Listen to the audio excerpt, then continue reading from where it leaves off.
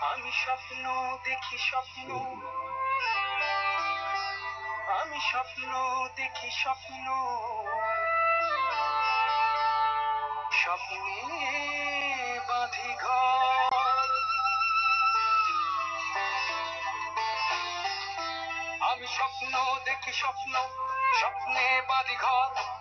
একুশ থেকে ষোলোতে বিজয় স্বপ্নে করে ভর আমার স্বপ্ন হবে সত্য তাই স্বপ্নে বাজি সুর তোমার আমার স্বপ্ন যখন এক সুরে সুরা সুর আমি দেখেছি কোটি মানুষের চোখ We are standing in front of two biogas digesters put up in a dairy farm. It's a 190 head dairy, out of which around 50 are small, uh, these uh, young heads, and balance are all grown-up cattle. And from the dung of the cattle, we are producing biogas. The, each of the digesters have a capacity of about 90 cubic meter of biogas production per day uh, or 70, 70 cubic meters, I'm sorry. So 140 cubic meter per day, which is now used in this farm both for electricity generation and also as a fuel for cooking. Let's have a look at the most interesting part, which is the electricity generation. Because cooking had been known earlier in this country, but electricity generation is a technology which we have introduced through the first pilot setup in Faridpur with a commercial poultry farm, and then we have expand. We are expanding now at a very fast speed of replication. To we, we have targets to reach this technology to at least say, 10,000 dairy and another 10,000 poultry farms, which will lower the national...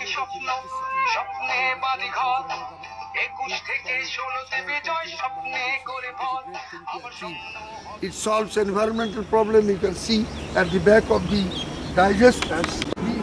Yes, I am standing in front of the digester intake. The digesters intake take up the cow dung. It is done manually, but it can also be done continuously through a drainage directly from the. In fact, that is, uh, we have that in planning when the all the cows are brought in here. They are dairy cows, then mixed with a one is to one ratio of dung to water, where and thereby goes into the digester mixed with water and produces biogas, which is 60% methane and 40% carbon dioxide. So as you know, methane is the combustible component. With the, the gas has an overall heat value of about 600 British thermal units per CFT. And if you have a closer look at the manometers, that is pressure meters set on the head of the uh, digesters, you'll find average pressures we are having about say between 1500 to 1800 millimeters of water column. so the methane gas produced is used for power generation, both for fuel and power, and at the same time the byproduct is produced which is also very environment friendly and is a very essential and valued input for agriculture, which is the liquid slurry. Biogas, we call it biogas slurry. And almost 30% of the intake is converted into the slurry, uh, which can be which can be applied as such to the agricultural fields as fertilizer or they can be dried or turned into pellets to have a very balanced nitrogen, phosphorus and potassium mix which will enhance the soil's uh, organic content. And uh, experimental uh, pilot projects have been tried with very expert agriculturists who have opined that these gives around 1.5 to 1.8 times the normal yield of the uh, crops. So is the slurry uh, being pumped out or how does it It stay comes out? automatically under the gas pressure. Gas pressure. is is ejected through the back backside. Only we have overflowing arrangements here. You have a look at this. The overflowing arrangement it comes to an overflowing pit and there it solidifies basically. It So solidifies here. More or less the it requires a very minimum attendance. So Only two people can attend this plant. How about the smell? The I I, I don't feel any smell, smell right? is Um, gone totally. Right, the smell is So pretty this much is gone. environmentally very green, sound, In fact, every dairy and every poultry Has lots of smell, but we I are- don't we see. are lobbying with the government. We are talking to the government to bring in all the all the poultry and dairy farms under the under this regulation that for biosecurity reasons they must have a biogas plant Right. and the power and fuel we will be getting as extra goods and fertilizer three one input three outputs. Right. So that's a, that's a very win-win situation which we are getting with biogas. The biogas is coming up coming in here as you see at the entry point, yeah, entry point to the filter unit, biogas cleaning unit, which is mounted on a small skid for convenience of movement and correction, disconnection to the engine, etc. Mm-hmm. So just it has an inlet, biogas inlet and biogas outlets. Inlet comes where pressure monitoring is done here. As you see, you can you can click on live. So the pressure, I have opened now the valve. So it is now 150 to 10, that is 1500 millimeter water column.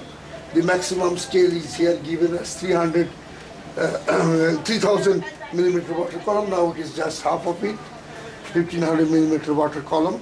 It has almost no pressure drop between the digester head up to the engine intake. And now, say, starting with Now I started the engine. It's a 20 kilowatt generator.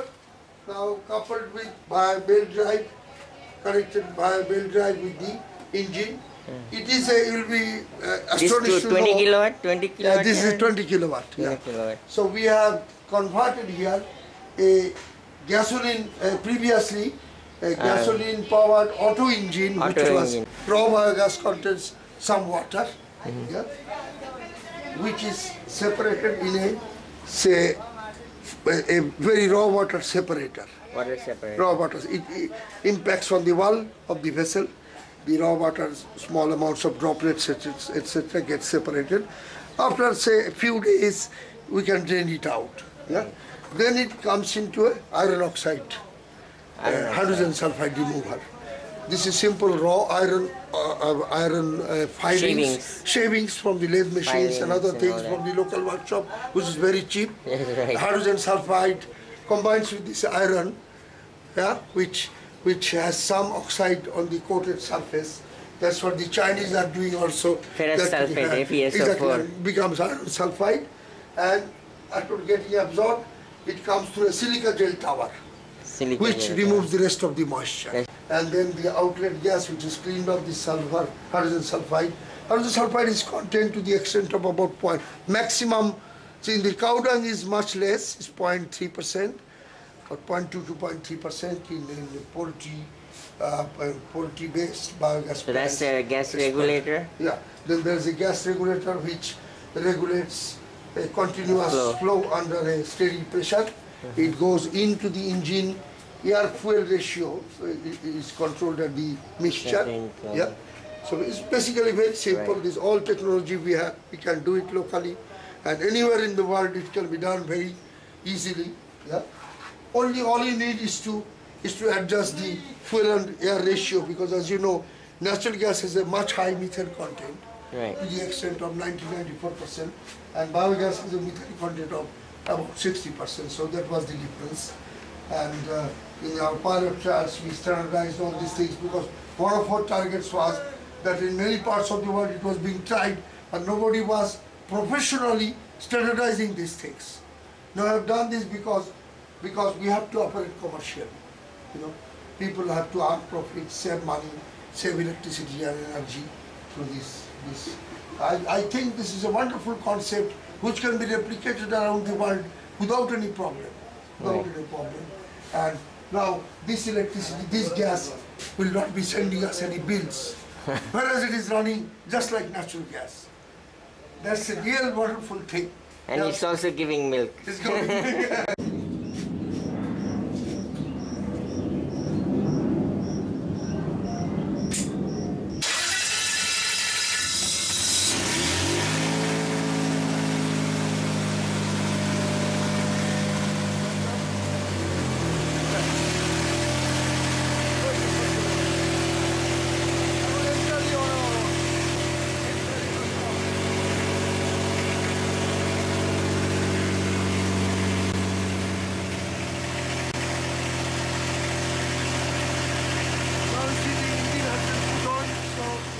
dairy shed, the the lights, and now there will also be fans in future.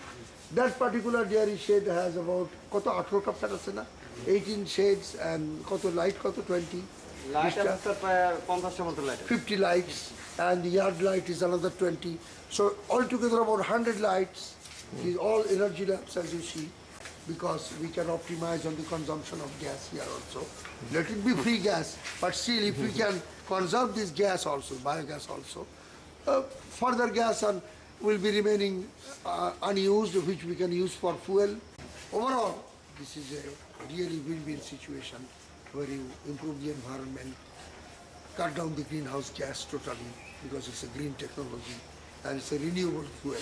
Renewable fuel. is called in every, everywhere in the world. It is called renewable natural gas.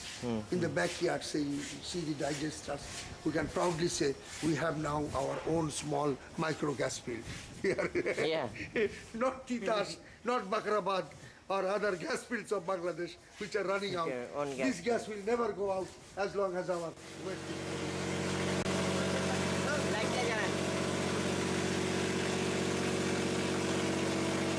একটা social প্রশ্ন করব। আপনাদের এইটা করার পর আপনাদের মানে ভালো লাগতেছে? না খারাপ আপনাদের কেমন লাগতেছে? মানে এটা এটা কি নতুন জিনিস মনে হতেছে আপনাদের কাছে? এটা আপনারা খুব উৎসাহিত? এরকম আরও অনেক করতে চান। আমি স্বপ্ন দেখি স্বপ্ন। স্বপ্নে বাঁধি ঘর।